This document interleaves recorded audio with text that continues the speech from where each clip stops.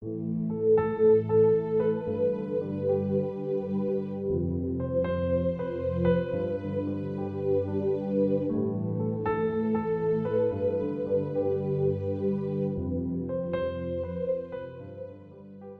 Méditation du 21 mai. La bataille de Waterloo. Ils feront la guerre à l'agneau et l'agneau les vaincra, parce qu'il est le Seigneur des seigneurs et le roi des rois. Vaincront également ceux qui, avec lui, sont appelés, choisis et fidèles. Apocalypse 17, verset 14, version Nouvelle Bible Second. Un homme d'affaires français établi à Londres souhaitait obtenir la nationalité britannique. Nombre de ses amis se moquaient gentiment de ses souhaits. Quelle différence cela ferait-il? Demandait-il. Tu es français et tu es ici depuis des années. Pourquoi veux-tu la nationalité britannique maintenant? Mais il s'est accroché à son objectif et, après une longue période et après avoir surmonté de nombreux obstacles, il a finalement reçu la nouvelle officielle qu'il avait été accepté en tant que citoyen britannique. Ce jour-là, ses amis se sont rassemblés autour de lui et lui ont demandé Te sens-tu différent maintenant? Tu es le même homme, tu travailles dans la même entreprise et tu vis dans la même ville. Tout est exactement pareil que t'a apporté la citoyenneté La différence est la suivante, a répondu le nouveau sujet britannique. Vous souvenez-vous de la bataille de Waterloo, au cours de laquelle les Français, sous le commandement de Napoléon Bonaparte, ont été battus par les Anglais eux-mêmes sous la direction du duc de Wellington Hier, j'étais français et Waterloo était une défaite pour moi. Mais aujourd'hui, je suis britannique et je peux considérer que c'est une victoire. Il ne s'agit pas de savoir ce que nous pouvons faire, mais de quel côté nous nous trouvons. Nous pensons parfois que la bataille spirituelle à laquelle nous sommes confrontés est un combat au corps à avec l'ennemi. Des passages bibliques comme Ephésiens 6, verset 10 à 20